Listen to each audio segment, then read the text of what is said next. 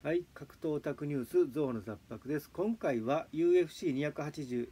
アルジャメイン・スターリング VSDJ デラショーのバンダム級タイトルマッチ勝敗予想試合見どころについてです。今回は T デデラショーという元 UFC の王者プラスアルジャメン・スターリングという新しい UFC 王者の対決となります。ただアルジャメン・スターリングはピョートリアンの1戦目完封されていたにもかかわらず反則勝ちしました。4点ポジションで膝をもらったからです。2戦目も正直ピョートリアンとアルジャメインでいうと、まあ、ギリギリの差でアルジャメインが取ったような試合でアルジャメインがいわゆるバックにつきコツコツ判定でもぎ取ったような形でうまいのはアルジャメイン強いのはピョートル・ヤンとまだまだバンタム級としての王者の地位を確立できてないのがアルジャメインです。ここで勝つことによって地位が確立できるのではないでしょうか。アルジャメイン選手は強靭な肉体と恵まれた体格でバンタム級でいわゆるグラップラーです。MMA プラネットの記事で昔言ってましたがもう組むための打撃だと言い切っていました。組むための打撃でタックル胴タックル組からテイクダウンしグラップリングで決めるのです。T デジェラショーもレスリング出身なのですがレスリングは防御でしか使えません。基本的には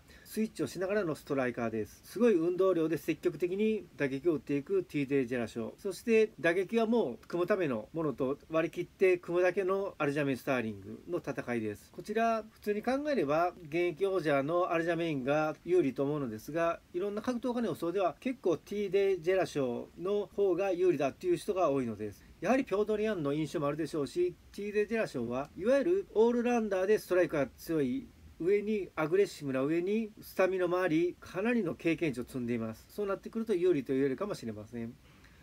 しかしアルジャメイン・スターリングは組むための打撃と言いながらその打撃自体もレベルが高く組んでからはかなり強いというどころか1つも2つも頭が抜けています。ピョートル・ヤンの1戦目はなかなかテイクダウンできませんでしたが最近は低いタックル胴タックルそしてそこからバックを取る動き。この3つの軸で簡単にテイクダウンを取れるようなレベルまで来ました。ですので TJ ジェラ賞 TJ デラ賞に関しても打撃でやりつつもタックルに行くそして逃げられるでフェンスまで追い込む。そこから組みそこからバックを取る。などの連続攻撃で TJ デラショーのバックをつくことは可能でしょう。そしてややなのですがアルジャメインの方がバックを取りやすい体格をしているので TJ デラショーのバックを取れると思います。若干 TJ デラショーは本当にレスリング体型でリアルフナッシーどんぐり体型ですのでアルジャメインの方がバックを取りやすいのです。そして一つの指標となるのがコリー・サンドヘーゲンです。サンドヘーゲンは T デジェラ賞の前線の相手ですが打撃ではややサンドヘーゲン。アグレッシブさ組で TJ デラ賞というかなり僅差な展開でした。しかしアルジャメイン・スターリングとサンドヘーゲンは実はアルジャメインが秒殺したのです。もちろんグラップラーと超ストライカーですので相性の良さでアルジャメインがすぐにテイクダウンしすぐに確かバックで一本勝ちしたと思います。秒殺することができました。そうなってくると TJ デラショーからタックルに行き失敗してもフェンスまで行き組みに行きバックを取りそこからキープっていうのは容易にできると思います。こちら勝敗予想なのですが希望としても僕はアルジャメインが希望でまたピョートル・ヤンとやってほしいと思います。そして実際も